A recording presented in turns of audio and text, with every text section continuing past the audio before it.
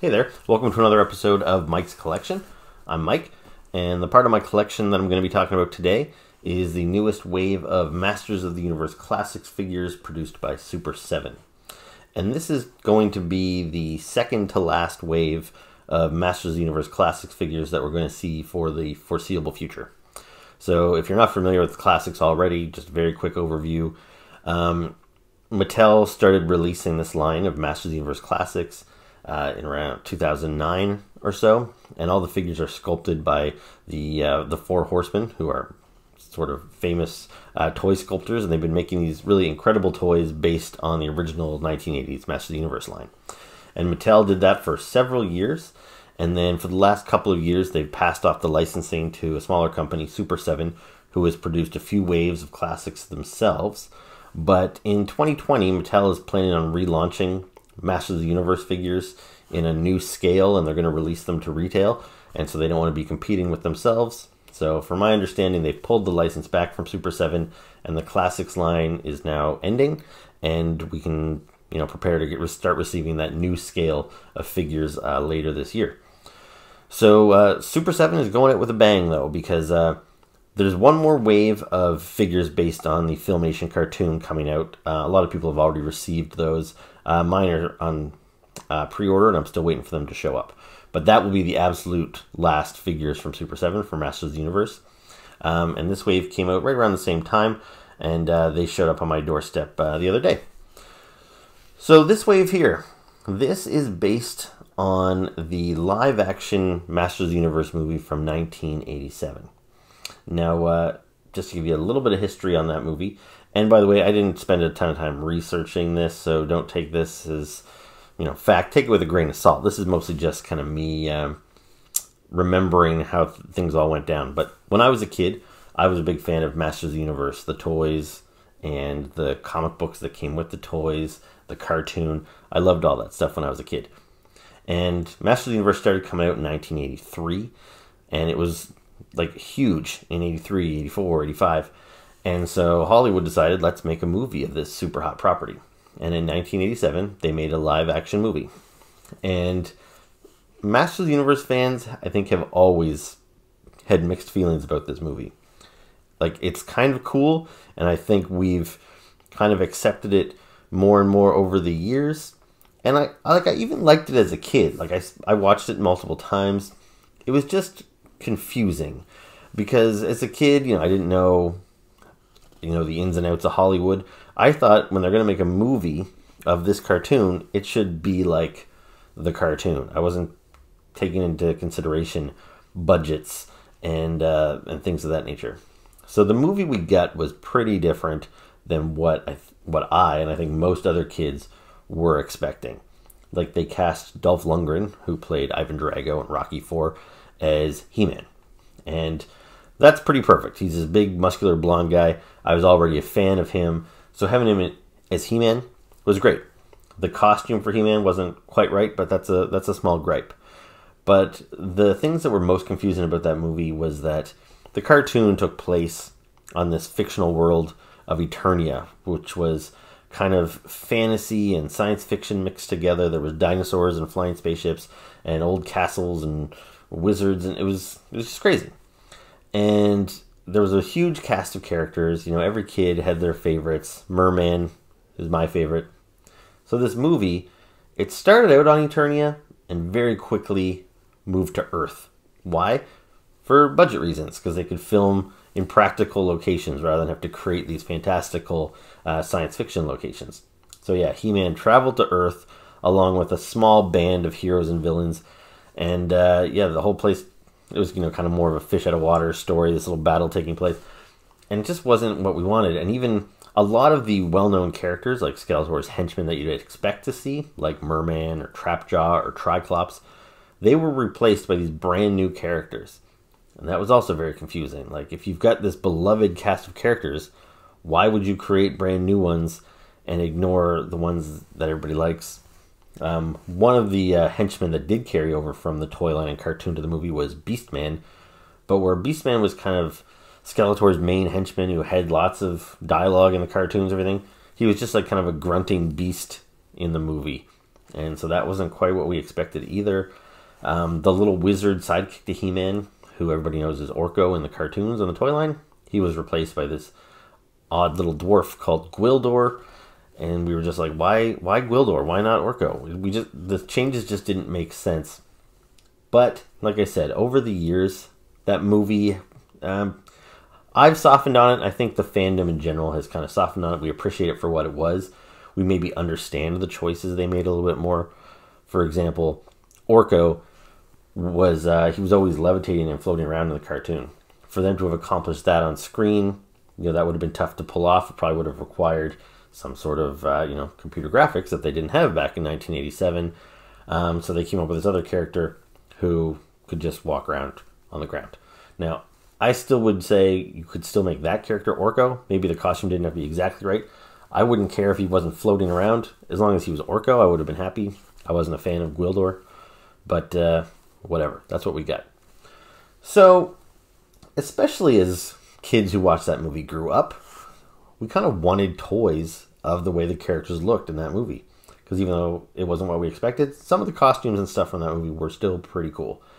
And even back then, at the height of Masters of the Universe popularity in the 80s, they only made a handful of toys for this to- for this movie, and they didn't make He-Man or Skeletor, the main hero and the main villain. They made a couple of these new henchmen, but that was it. And they've never made figures of them since. And even when Masters of the Universe got revived in like 2002 and had a big comeback, and then when it came back again with the start of the classics line in like 2009, the top of people's want list for a long, long time has been figures based on the live action movie. And my understanding is Mattel could not do it. There was some legal rights tied up with the movie company that made the movie, um, which I think is was Cannon Films, and I I don't know if they still exist. I don't I don't know what the legal issue was. It might have been actors' uh, license uh, likenesses that they didn't have the right to make figures of.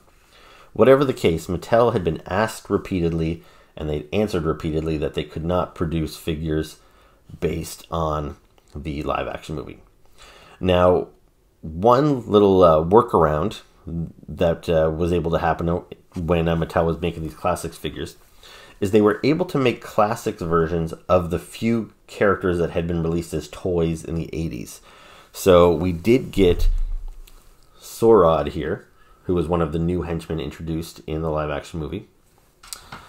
And we also got Blade. So we got these two characters based on the movie, but still no He Man, no Skeletor, and it seemed like it was never going to happen. Now, when Super 7 took over the license, they made it a mission to try and get these figure, figures made. And they found a workaround. So, what I understand is that they couldn't get the actors' likenesses or the likenesses from the movie, but what they could do is they could go to the guy that designed the costume and did the concept sketches, a guy named William Stout, and they could license his artwork to make figures based on the artwork, not on the actual movie. So these toys, even though it doesn't say anywhere on the package, um, when these were being advertised to us as pre-orders and stuff, they were known as the William Stout collection. Um, so yeah, these are based on William Stout's artwork, and uh, yeah, thank goodness for William Stout. I'm not familiar with that guy at all, but uh, whatever deal Super Seven was able to work out, we finally have figures that are pretty close to what we saw on screen in the movie. So this one here that you're looking at is God Skeletor. And uh, if you're watching this review of these figures, I assume you've seen this movie. So Skeletor, when he finally gets all powered up at the end of the movie, he becomes a golden god. And this is that figure. There's some artwork on the back and a little bio. And here you'll see a cross-sell for the rest of the figures in the line, as well as the figures from the final animated wave I mentioned a couple of minutes ago. So there's God Skeletor in the package.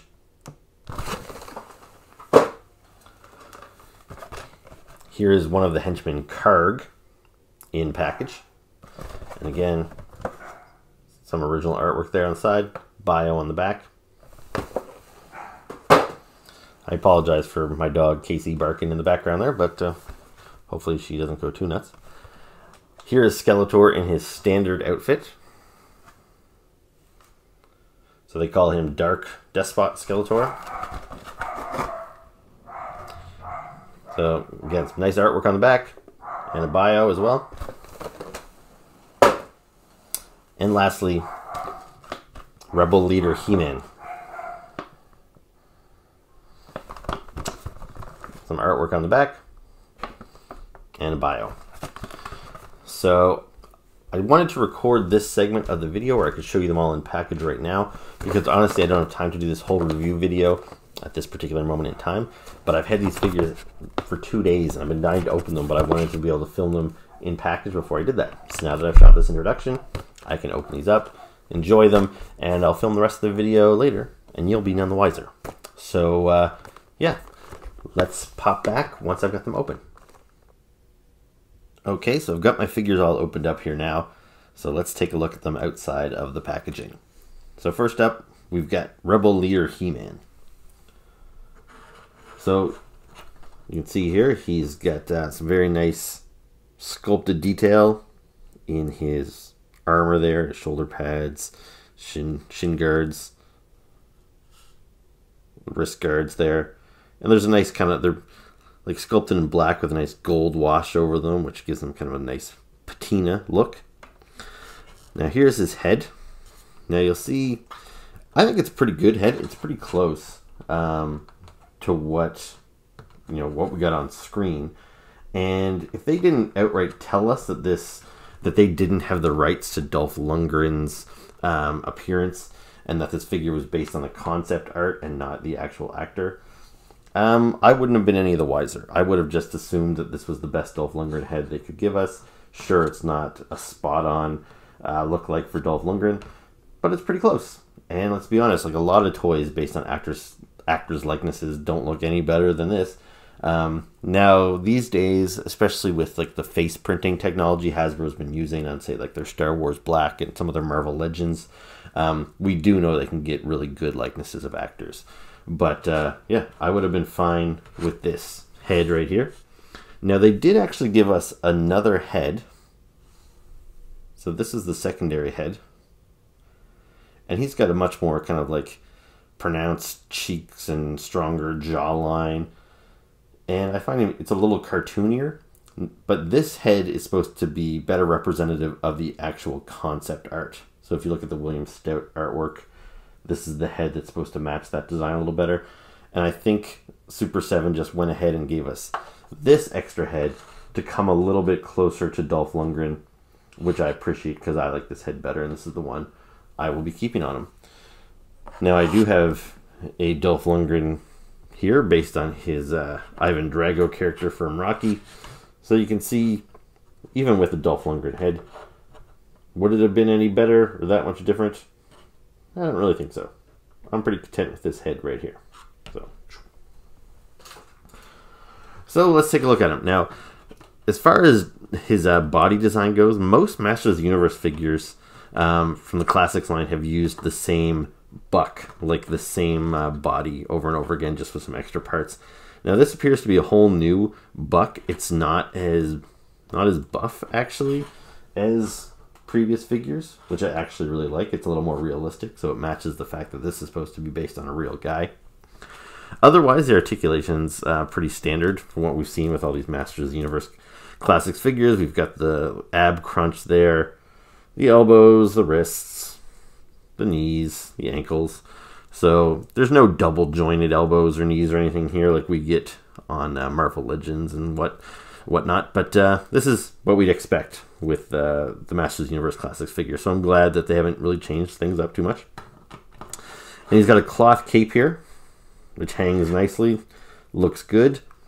As far as accessories go, so he came with the uh, the alternate head there, but he also has his power sword, and then he has this pistol, which can be holstered on his hip here, and he's got a dagger that can be sheathed on the other side. And then he's got this little knife, which I didn't know what to do with it until somebody on Instagram told me about this little hiding spot there, because you really can't even see that that's a hole there until it was pointed out to me. So there you go. You can store his knife in there. It's just kind of it just kind of sits in that hole. It's not like a tight fit or anything, but at least it's nice that it can be stored on the figure. Because I'm not a fan when characters come with so many extra weapons that you just end up throwing them in a box somewhere because they can't hold them all themselves.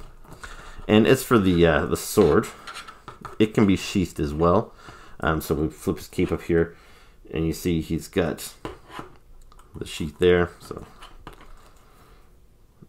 it tucks in like like so, and so it's intended to go through. Uh, I think up here somewhere, or like you see this little clip that would hold the handle in place, and then that would sheath into the bottom of that. So that's pretty cool too. So overall, I think this is a pretty great figure. I like the proportions of it. It looks like He-Man from the movie, and I think it was worth the wait. Now let's just bring one of the, uh, oh, there goes the sword. Let's just bring up one of the classic He-Man here to compare. So for starters, I'm going to bring out Thunder Punch He-Man. So this is one of Mattel's Masters of the Universe Classics He-Man they did him in a number of different outfits. They did the kind of the standard, uh, you know, gray and red um, body armor, and then they did the battle damage body armor He-Man. So here he is. This is Thunder Punch He-Man. So this one, that's what most of the classics He-Man kind of look like. Then I've got another He-Man here. Now this is Snake Armor He-Man, also from Mattel's Classics line. Now this was based on a look he had in the 2002 reboot of He-Man. So he's got a little bit more of like an anime vibe to him here. And then we've got this one also produced by Super 7, but this is the Filmation He-Man. So this is my uh, my favorite one here. So this is based on the cartoon look. So there we go. And since I've got him handy, I can even bring out um, Mythic Legion's kind of homage to He-Man. So this isn't officially He-Man, but he's he's inspired by him. So there you go. We got a nice little crew here. And these figures are all great in their own way. And depending on what kind of dis display you want to have, a movie display, a you know a display based on the old toy line, based on 2000 toy line, based on the cartoon. These guys all have a spot in my collection. I think they're awesome. And yeah, I'm really glad that Super 7 was able to get us this William Stout He-Man. So next up, let's take a look at Karg outside of the packaging. So Karg is one of the brand new characters that was created for the 1987 movie. He had no prior history in the cartoon or the toy line or the comic books. And of the new characters they created, um, I really liked Saurod, the lizardy guy. Um, I really didn't care that much for Blade or Karg. Um, but I had, like I said, but a lot of things with that movie I've kind of softened on them over the years, and now I actually kind of like Karg. He's still kind of weird looking with this like a kind of creepy, kind of bat-like face, and I say bat-like because if you see his ears here, he's got these kind of crazy bat ears coming through this gigantic coif of hair, which seems kind of ridiculous. Um, but yeah, it's definitely different from any of the other characters in the line. So uh, at least I appreciate that that they took a took a risk and went with something totally different. They didn't try and give us some like half-assed merman or something. This guy is completely his own thing. And I'm actually kind of surprised with characters like this that they didn't later work them into the uh, like the cartoon or do a, a cartoon version of him for the toy line. Pretty much, he was just associated with the movie, and that's it. And you know, he didn't even get a figure from that. Uh, those three figures they created based on the movie, which was just Saurod, Blade, and Gwildor. So yeah, we've never had a Karg figure up until a couple of years ago when this guy I had a little trouble getting him to stand, but I think he's okay there. So a couple of years ago, Mattel produced a Karg figure, and I'll bring him out here. And this is the exact same figure as far as the sculpting goes. The only thing that's changed is the paint with one other minor sculpting um, difference. You'll see here he's got a claw hand, and so this one here, and I've got him holding his knife, which is, I don't know if he'd really hold a knife in the hook, if that makes any sense. But uh, where I was talking before about how I like figures to be able to hold their accessories, uh, Karg does not have anywhere, he doesn't have a sheath or anything for this little blade he comes with. So you can either put this in his hand or his gun, or you can try and put it in his hook. Now, the new Karg has that same knife in a different color. Now the reason I don't have it in his hook is because that's the part that's different. So this guy's got kind of a standard Captain Hook looking hook, whereas Karg has this It's a little bit of a finer point with these jagged little um, edges on it, and this is what it looked like from the movie. So I appreciate that Super 7 went the extra mile, and even though this figure is like 99% a repaint, they did go ahead and sculpt a new hook to make it more film accurate. But with that new hook, I don't think it's going to hold onto this blade the way the other uh, figures does. So, so that's not an option. And I prefer to display him with the uh, gun. So this Karg's knife is just going to go in the uh, spare parts bucket, probably never to be seen again. So yeah, so how was Mattel able to produce this Karg? Well, like Super 7, I think they did some legal finagling, and Karg had appeared in a comic book, and they based this look off of the comic book design, which is why his colors are so crazy. I don't know why, but in the comic book, he appeared like this, with green skin and a blue costume. Now, maybe that was a comic came out in the lead up to the movie and they hadn't finalized his look yet, or sometimes things just get lost in translation. But this figure of Karg that Mattel gave us was based on that comic book appearance alone. They couldn't do the movie look. And I was happy to just get Karg then. I knew I was never a big fan of the character, and when this toy came, I was happy to get him, but I didn't think it was a great toy. I was like, all right, I've got a Karg in my collection now. That's cool. It wasn't until I got this figure that I realized why I didn't like that one. It's because that one sucks compared to this this figure, even though it's the same thing, it's amazing what a different paint job can do to bring out the detail and make you appreciate a figure more. This one is just far superior to this goofy looking one.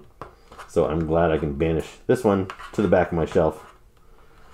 And I can bump this guy up to the front. Because he looks pretty nice. I really like this gold on black paint job. The, uh, the cape there looks very regal. Uh, there's not much to re report as far as the uh, articulation or anything goes. It's pretty standard. This uh, loincloth kind of thing here, it's soft goods, so it doesn't hinder his movement. You can see he can still do some like splits and stuff, so you can still get him in some good poses. Now, one thing I will say about this figure and the other ones I'm going to show you in a minute is they do seem to use the more standard buck from Masters Universe Classics. So where they slimmed He-Man down, they didn't do that for Karg. If anything, they beefed him up because he was not a big muscle bound character in the movie. Sure, he had some kind of thick armor on, but you could tell his, uh, you know, he wasn't like this big beefy guy underneath all that armor. Whereas this one, you know, he's almost busting out of this armor, and it makes him look substantially larger. So, this guy, like I said, I'm having a little trouble getting him to stand upright. But that's because he's just out of the packaging. I'm sure if I mess around with him a little bit, I'll find a good stance for him so he'll be able to stand on my shelf okay. But Karg, it's my least favorite of this batch, but it's still a very cool figure. And if you're a Karg fan, I'd say it's a must have. So here's a little group shot of all the movie henchmen together. Um, it's kind of a shame that we don't have a Beastman based on the William Stout collection artwork, because there is William Stout artwork for Beastman that can be found online so you'd think Super 7 could have produced that figure as well. Um, same as Evil Lyn. She doesn't qual- fall into the same category as these henchmen, I don't think. She was more Skeletor's right hand man. But I really did like Evil Lyn's look in the movie, so it's a shame we didn't get her either. But uh, yeah, it's pretty cool to have all these guys grouped together. And to be honest, this Beastman, he so uh, doesn't look like his movie counterpart that might actually make more sense to uh, replace him with with Grizzlor here. That looks more like movie Beastman as far as I'm concerned. So there you go. There's the movie henchman. So next up, let's take a look at the standard Skeletor, or as the packaging refers to him, Dark Despot Skeletor. So this is him in his kind of traditional outfit that he's wearing through the bulk of the movie. So you can see it's got some soft rubber bits here. Unlike He-Man, he doesn't have a cloth cape. He's got a rubber cape here, but it's it's soft and can move around. You see here he's got like a cloak or tunic or whatever. It's also soft good. It doesn't uh, hinder any of his posability, so you can still get him to do, you know, the splits or whatever. Get him in some pretty wide stances. Now this is a really nice figure. Probably the best thing about the live action movie was Frank Langella as Skeletor. And yeah, he looks great here. Now I've got the light of my tablet shining on him, so I don't know if we're getting the detail there. He's kind of washed out.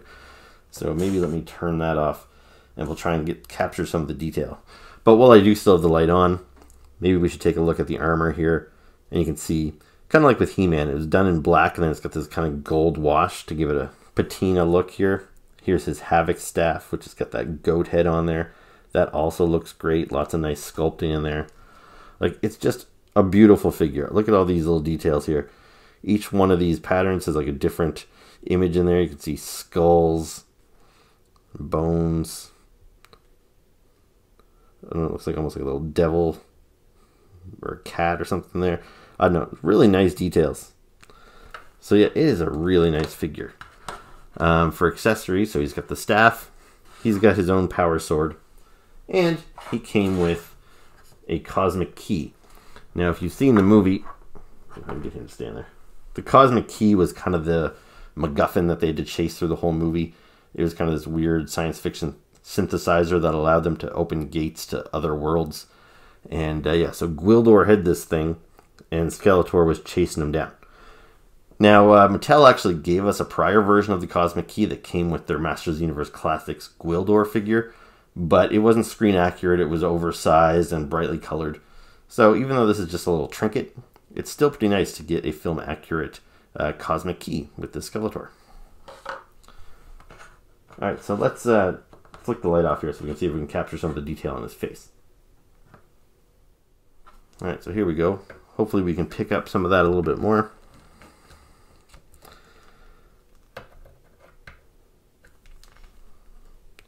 Yeah, it's just a really nice head sculpt and pretty accurate to what we get on screen.